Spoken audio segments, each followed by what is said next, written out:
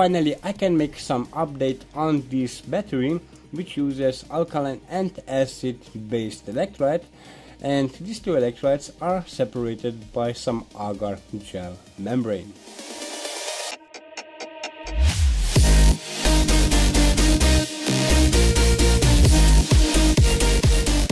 So like I said before, finally I can make some update on this cell which uses this agar gel membrane and actually this kind of membrane works for five days.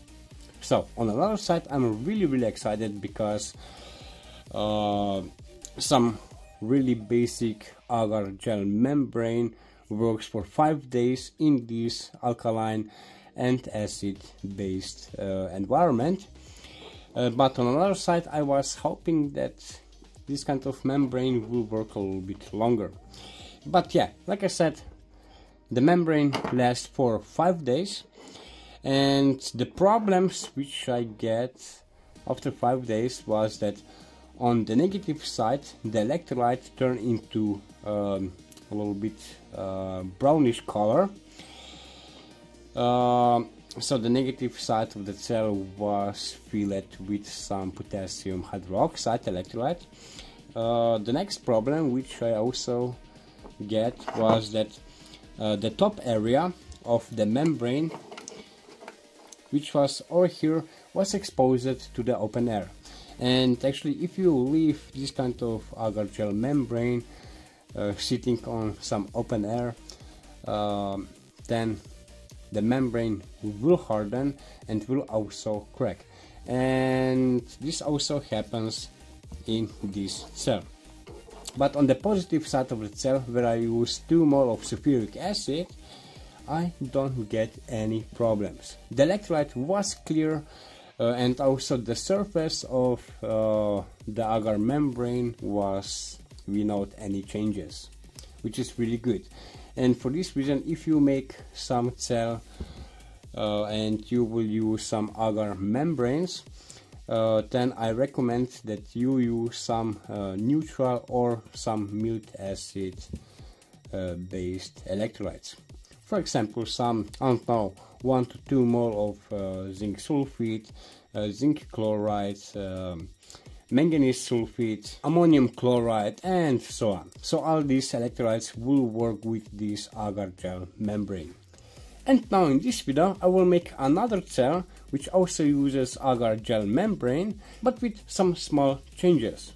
So the first change which I will make will be I will replace this kind of basic agar gel membrane with this.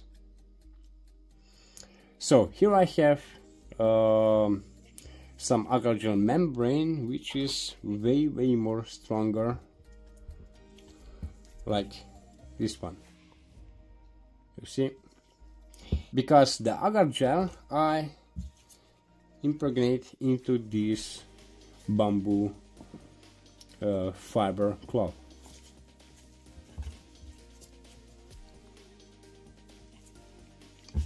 And this way I get way, way, way more stronger uh, membrane. So this kind of membrane will not crack so easily.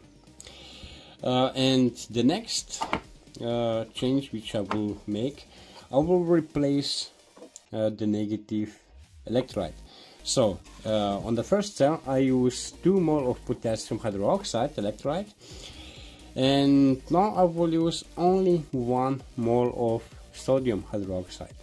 In basic I can also replace uh, the sodium hydroxide with some uh, neutral electrolytes. But in this case uh, the pH difference will not be so high. And for this reason I will also not get this high voltage which I can get with some acid and uh, strong alkaline uh, setup and now I will put together this new cell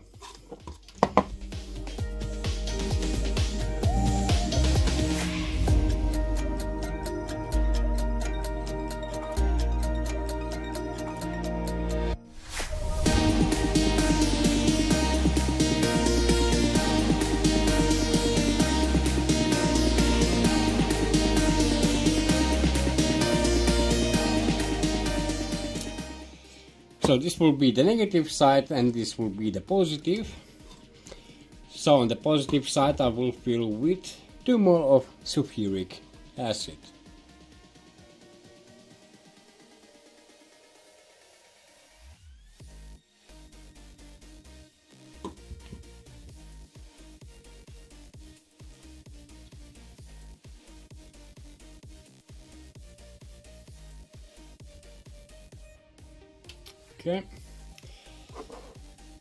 and the negative side I will fill with one mole of sodium hydroxide.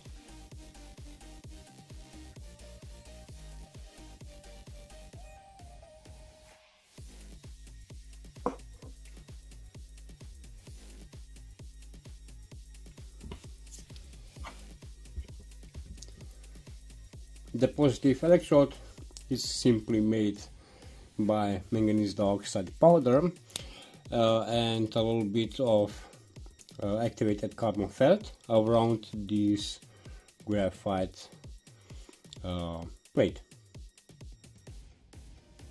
And here I have some zinc for the negative electrode.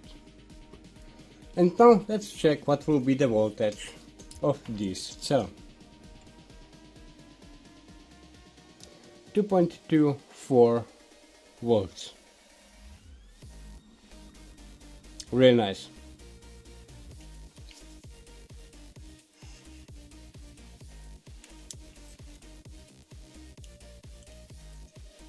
Oh yeah. Very nice.